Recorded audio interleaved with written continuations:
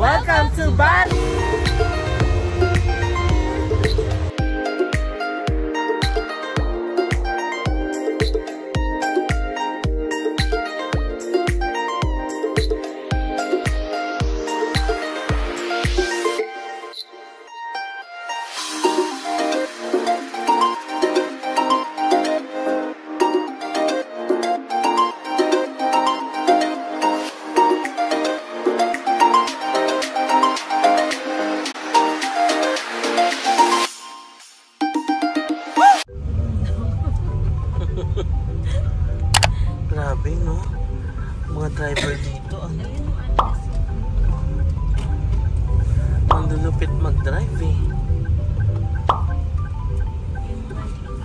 Kaso ang daming afam.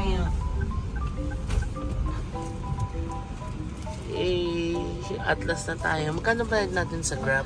166. Ah, 166,000. We made it to Atlas Beach Club pa. Ayun yung pila sa likod, ang haba. Sabihin ng daming taong pupunta dito. Dala pa natin yung mga grocery natin. Pero okay lang yan.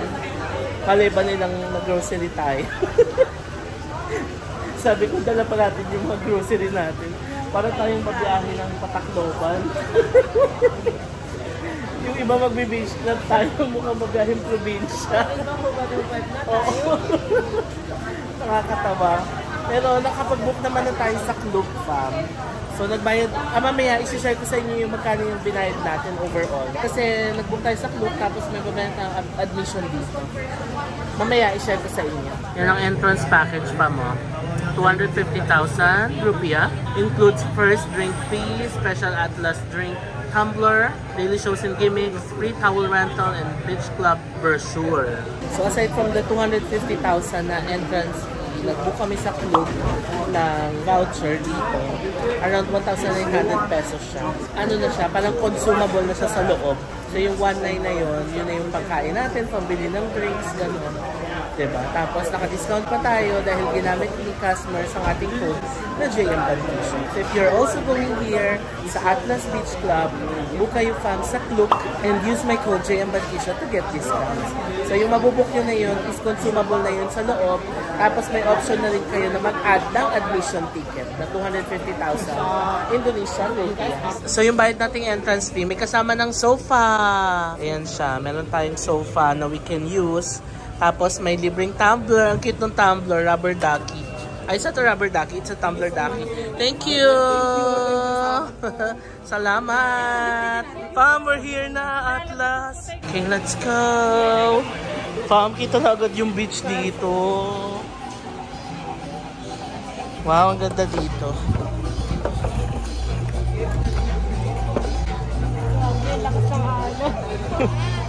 Tuwa na sana kami, nakita namin yung dagat. Pagkita namin ng alon, nagtawa na kami, parang hindi namin kakayanin. Oh, ang saya. Pero indoor yung nakuha nating sofa, no? Saan kaya yung indoor? Tapos yung indoor, ano pala, ano, kwarto. Hala, ang ganda dito. May stage pa sila, oh, for events.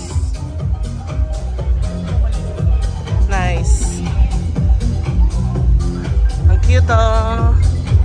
Hi. Hello. Wow, ang saya. Hi. Hi. O, diba? Ang saya. Party, party. Kaso lakas na naman makamayaman dito. Sa mga pinagkakautangan po ni Cas Vanessa, hindi po mahal dito. 900 pesos lang po ang general admission.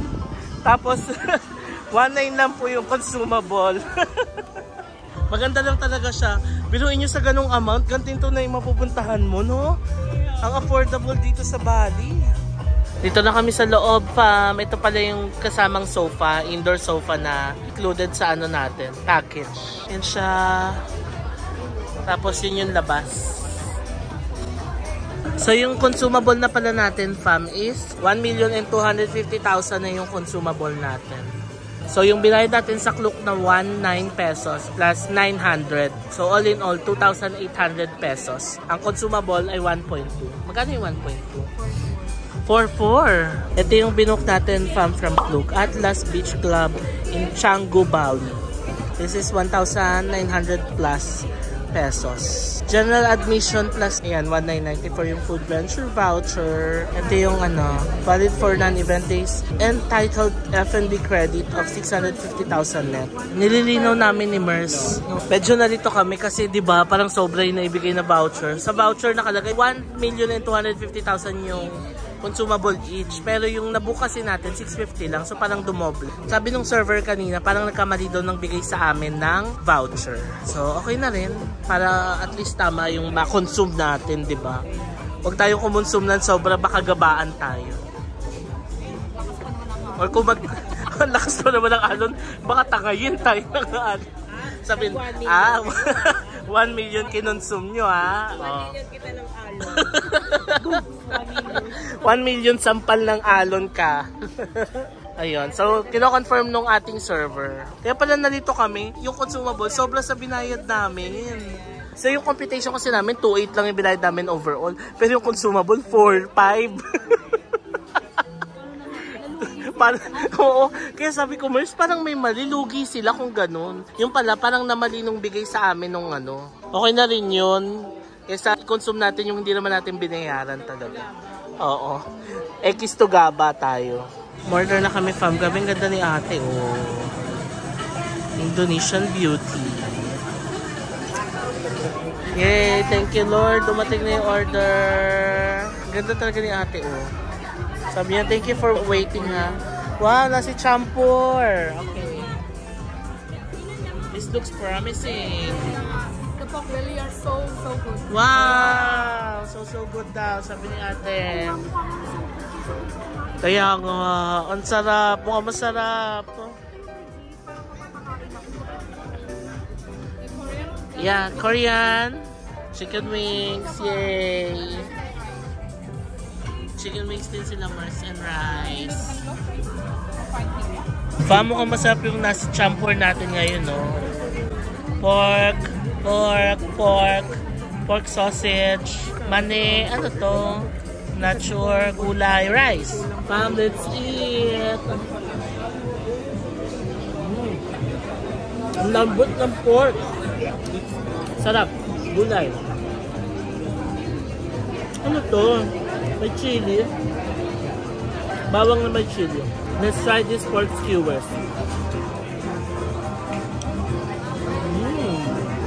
Ang lambot, grabe. Fam, grabe, ang sarap ng food nila. Sarap nung nasi champur talaga. Ito kay Ariel, tong Sengi West DAB, 6 hour na braised short ribs. Grabe. Chicken wings, fries, ayan. Oh, Sarap. Come on, let's eat. Fam, ang sarap dito. Yan si Mers happy. Kanina mainit ulo. Happy ka? Number one. Atlas.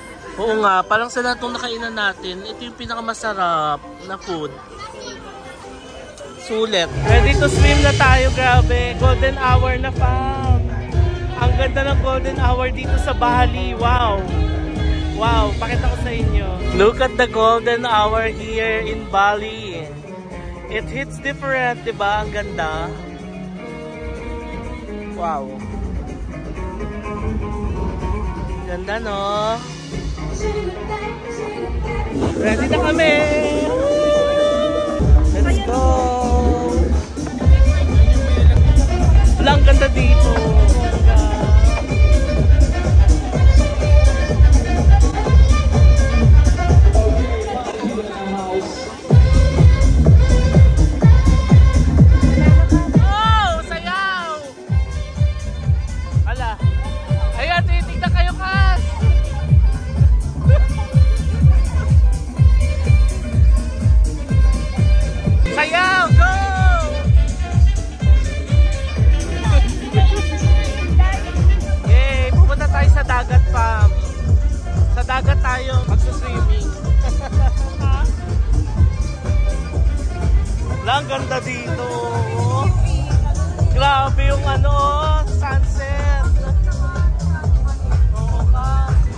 Lang yung buhangin nila dito. Parang ano, no? Batangas, Matabungkay, ganon. But the sunset is still beautiful. Parang lumungkot nung sa dagat na. Kasi ano, naging normal beach. Oo, parang naging mat matabungkay na. Sorry fama, this is just my honest opinion.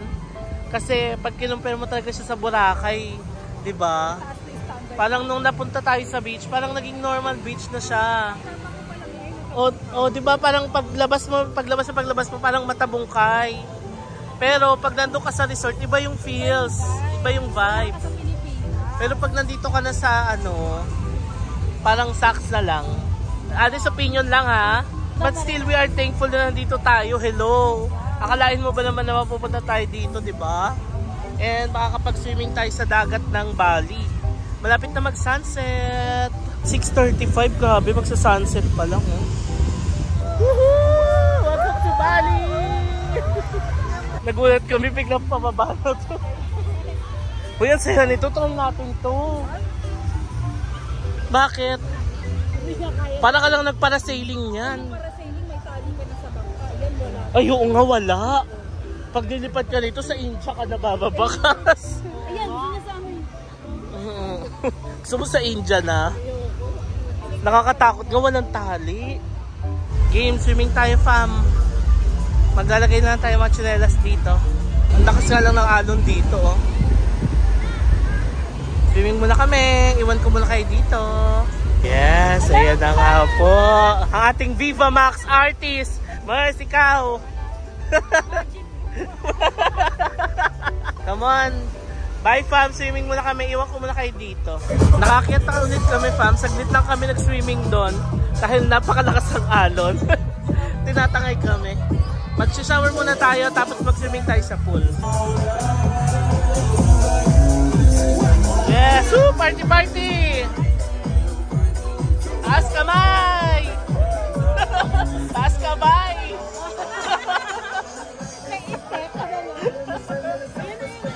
na!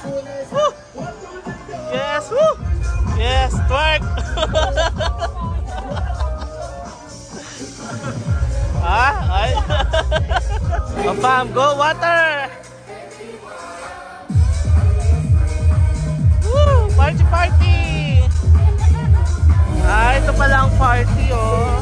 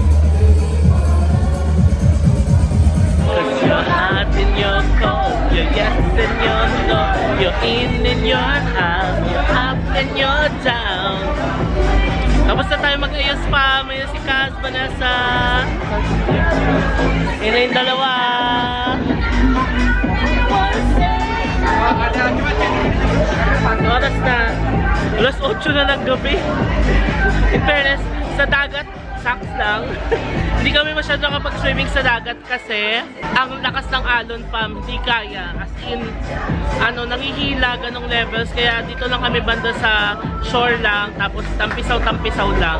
Hindi talaga naka-swimming, yung seasid levels, ganon, wala.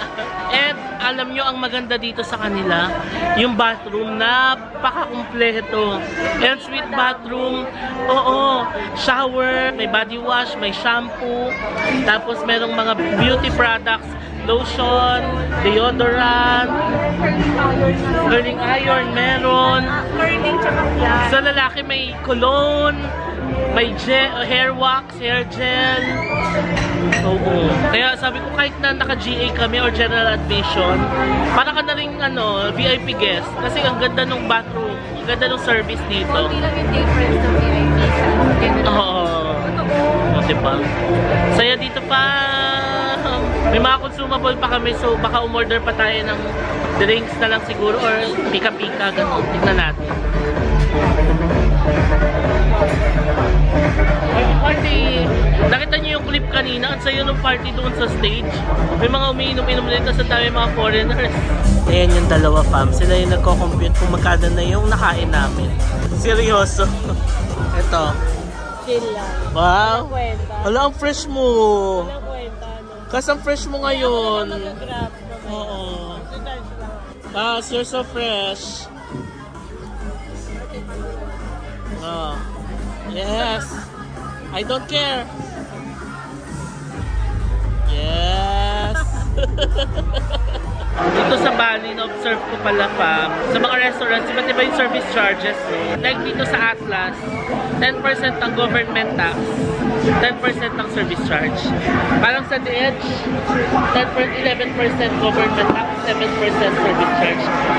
Iba't iba siya. Yun ang na-observe ko. So, yung total bill, lagyan nyo pa siya ng government tax tsaka service charge. Yan. Kasi usually hindi siya kasama sa mga menu. Nakalagay naman sa baba kung ilang percent yung tax tsaka yung service charge. Pero ganun pa man, affordable pa rin. Hello. For 2,800 na binayad namin for a day tour, you get to experience this one. Sulit na sulit. May sulit na sulit pero nauubo kami. May nagsisisha dito sa likod namin. Ingay. Sorry. Ngayon, as a budget traveler, kino kino-compute na namin yung nakain namin kanina. Tapos, oo, kasi kung may sobra pa, o-order ulit kami. Sayang naman kung may matira, di ba? Kasi walang refund. Hindi man-refund eh. So, sulitin natin. Ask kamay! Na-compute na nila, Mers. Alam nyo ba, 1.4 million pa lang yung nakain natin. So, meron pa tayong around 1.2 million na consumable. Aside from that, meron pa tayong free drinks na coupon. Ang party talaga, ang dami natin pwede. Busog na kami, pero order kami. Juice, alak. Oo, juice, alak, pizza. Ang sarap ng ali olio pa. Ganda na ng music. Sa'yo mag-party-party dun, no? Mm. Gusto pala. Mm-mm. Grabe, lunch and dinner na pala natin dito. class.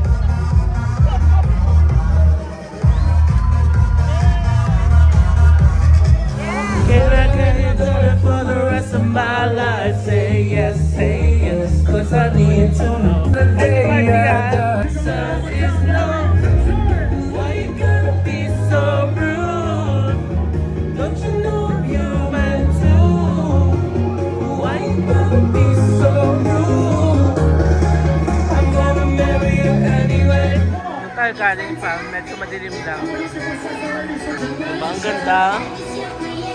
Barbie! Go Barbie! Yes! Tara tayo sa upuan natin.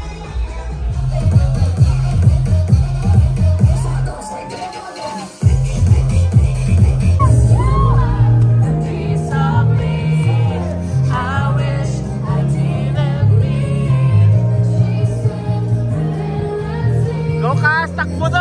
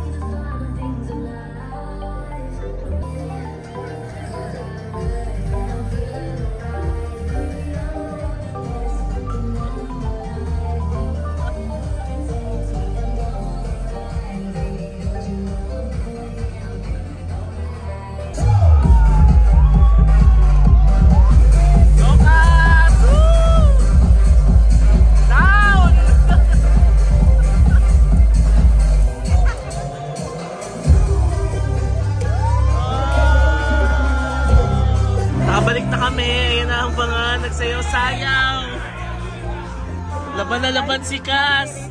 Mga day of si Inka. Oo. Ano na nakasumbrero? Parang pisat. Kaya paano nagsusumpa doon? Anyway, umorder kami ng food kasama pa to doon sa consumables natin. Pepperoni pizza, audio olio pasta, and mga fruit shakes. Yes! Ooh! Ay, ay gusto din. yung hindi ka naman nag-yosi, pero parang smoke eh, cigarette, di ba? Oh, yung hindi ka naman nagsisigaret, pero humit ka.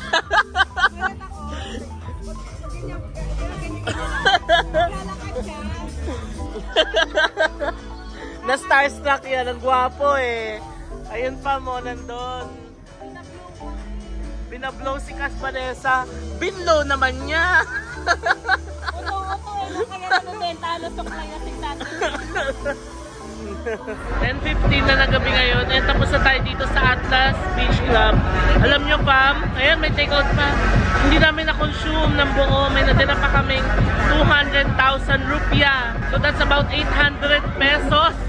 Sayang no, tapos may mga free drink voucher pa kami. Paano ba naman busog na busog na kami? Hindi na maubos. Sayang, na rin namin makakain kasi sobrang busog na talaga.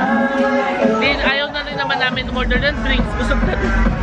Anyway, labas na tayo. Nag-book na si Cas Vanessa ng Grab. Party-party pa rin, oh.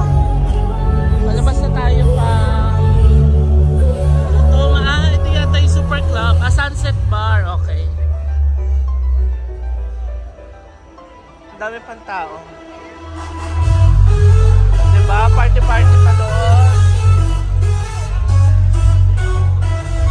Goodbye to Atlas, the biggest beach club in the world. Is it true? Anyway, let's go out. Always na ako, fam. Nandito na tayo sa labas ng Atlas. Nakapag-book na si Kaz. Sinintay lang namin yung mga bags na pinaiwan kanina. Alam nyo ba, 10 kilometers lang ang distance nitong Atlas Beach Club sa hotel natin sa Lijan. So, Canggu to Lijan, 10 kilometers. Alam nyo kung ilang oras ang estimated time na biyahe? 45 minutes, grabe. Ganun ka-traffic ngayon dito sa Bad. Kasi nga, it's a holiday, mag-New Year's Eve. Ang lala ng traffic. Matindi pa sa traffic natin sa EDSA. Ang lala talaga. Ano oras kaya kami makauwi? I'll update you later. Ayan na si Ars. Kinuha na yung mga pinamili natin. Thank you! Let's go, let's go. Nasaan dyan na lang yung Gojek ba or Grab? Grab, okay. Ay, ito ba? Oo, yun. Ayan pala eh. Pumasok pala siya, lagot ka kas. Ito na yung dadaanan natin from ang traffic, di ba? Grabe ang traffic pala dito sa Bali.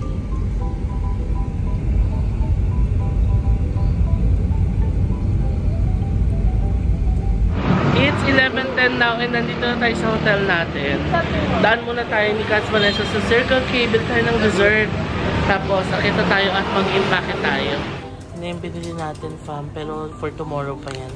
Kasi maaga yung list natin bukas. Tapos, this is our dessert. Pero parang sobra yung kinuha niya, ha? 20 na yung kinuha niya. 40 plus na. Anyway, yaman na. Bumili kasi kami ng Circle K, di ba, dessert? Tsaka for breakfast tomorrow. Si Cass, sabi niya ang, ang bill daw namin 23,000. Bilang kami ng bilang ng barya para mabuno yung 23. Nagtataka kami, nabuno na namin yung 23. Hindi pa rin kami okay. Nakita Tapos- mo yung pera mo, nilabas mo na. Na lahat kumuha-kuha. Oo, nung nakita niya yung pera ko, nilabas ko, kumuha pa siya ng mga 20. Sabi ko, Kas, bakit kumukuha pa siya? Akala ko ba 23 lang? Pagkita ko sa monitor, 37 pa rin yung bill namin. yung nakita niya 23, parang isang item lang. Ayun. Yun lang, kaya natawa kami. Pero parang sobra, parang 14 na yan tayo nabigay ko. 10,000. Diba? 10, 10, 20. 10,000 plus 20. Oo. Ang dami yun yung kinuha ko. Diba? 37 Hi. Kas, tumingin sa'yo, Kas. Lahat na pag tumingin kay Kas. Kaya tayo, fam, dahil mag-impake na tayo. 11.25 na ng gabi ngayon. We're here na sa ating hotel room, fam. It's been a long day today. Super saya and chill nung itinerary natin. Nag-shopping lang tayo ng pasalubong. Tapos, punta lang tayo ng beach club and that's it. Super happy ng itinerary and very chill, no? Yan ko itong vlog, fam. Pasensya na kung hindi ko alam kung mahaba ba to or maikli. Pero marami naman yata ako nakuha clips. Kasi 11.30 na and kailangan na nating mag-impake. Dahil tomorrow, our flight from Denpasar to Manila is at 8.30 a.m. So, plano namin umalis ng 5 a.m. dito sa hotel. Mag-grab tayo papuntang airport. Mga less than 30 minutes lang naman yung biyahe. Para 5.30, nandun tayo sa airport. So, 3 hours before our flight, no? Mag-impake na tayo. Mabilis na naman tayo mag-impake. And para makapagpahinga pa tayo ng mahaba, no? Mahabang tulog. So, good night, fam. Maraming maraming salamat sa pagsama sa amin sa vlog na to. And, I'll see you on the next vlog. Bye! Good! Bye, Fam. Thank you for going with us. Yes, good night.